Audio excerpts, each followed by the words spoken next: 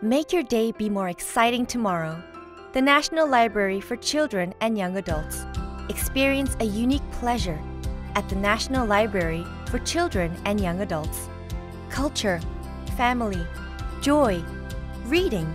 According to the theme of the month, we create programs that children, youth, and families can all enjoy.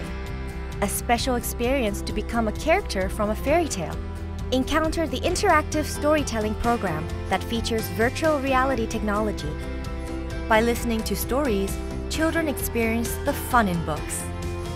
It is a good start for children to make friends with books. Youth program with serious considerations of career paths. It provides valuable opportunities for young adults to find their future. A place with a promising future, the National Library for Children and Young Adults.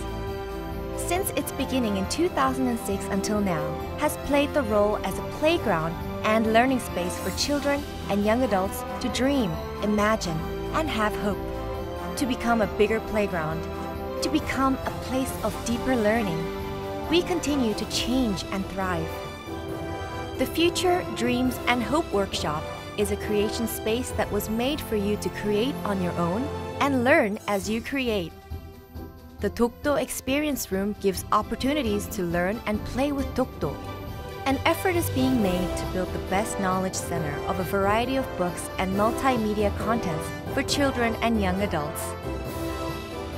Unique spaces and substantial exhibitions and various regular programs.